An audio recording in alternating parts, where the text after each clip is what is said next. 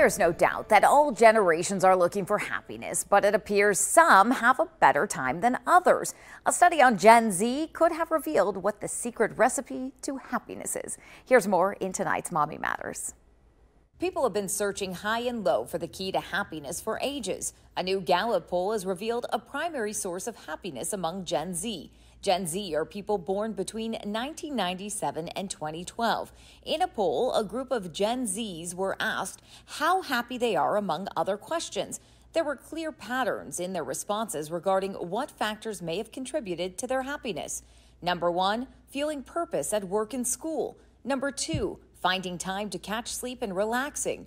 Number three, limiting how much they compare themselves to others. And number four, feeling supported by friends and family. So, sleep, social support, less comparisons, and finding your purpose are a few keys to happiness, according to Gen Z.